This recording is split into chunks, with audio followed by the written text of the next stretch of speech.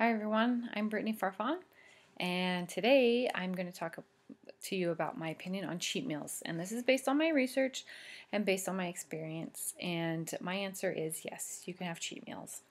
And sometimes I have two cheat meals a week or three, but then I get back on track. You know, we're not perfect. And I think that as the more prepared you are with your meal planning, you know, the less cheat meals that you will have or have to run into. But I really do live by the 80 20 rule where I'm eating healthy and clean for at least 80% of the time. And then the other 20, you know, I can grab a piece of candy if I see it or have a cookie or some ice cream, um, which I love. I love ice cream.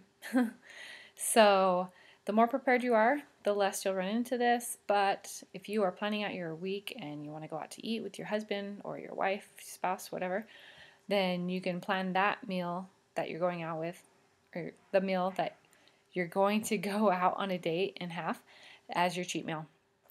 Um, that's just one example, you know, or traveling. Like last week, I was traveling and I had a lot of cheat meals. And so that's what this group is for, for me personally, to help get me back on track.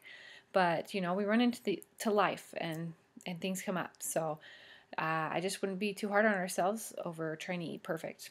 So do your best. And uh, I'm still, I'm so grateful you guys are all here. Keep uh, encouraging each other. And if you have any motivation for us or for me, if you have any tips that you want to give out, then totally post on those. You know, um, it's the group is open for you to contribute. So I want to hear from you guys as well. So thanks.